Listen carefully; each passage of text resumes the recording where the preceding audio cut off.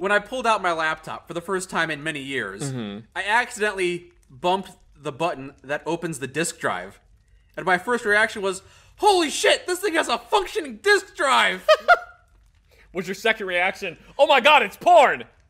yes. that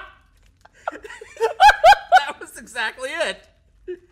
Who has physical porn anymore? Oh my god, it's the porn from when I was in the Marine Corps!